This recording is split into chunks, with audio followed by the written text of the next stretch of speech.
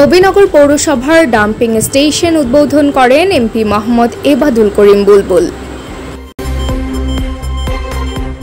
সেবা, আন্তরিকতার আরেক নাম অ্যাপোলো প্লাস হসপিটাল ঢাকা ও কুমিল্লা থেকে আসা বিশেষজ্ঞ ডাক্তাররা প্রতিদিন থাকছেন আপনাদের সেবায়। অ্যাপোলো প্লাস হসপিটাল মমতাজ ভবন, দক্ষিণ শতানন্দী, বলদাখাল, দাউদকান্দি, কুমিল্লা।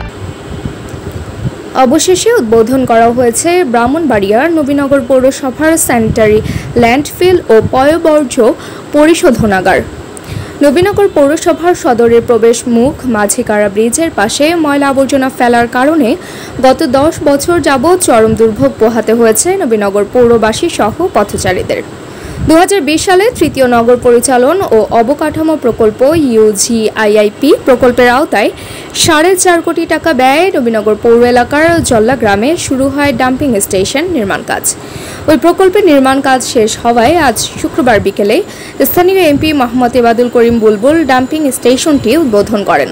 এ সময় উপস্থিত ছিলেন নবীনগর পৌরসভার mayor advocate Shibshankar Das, Nabinagar upazila chairman Moniruzzaman Monir, vice chairman Zakir Hossain Sadek সহ পৌরসভার কর্মকর্তারা।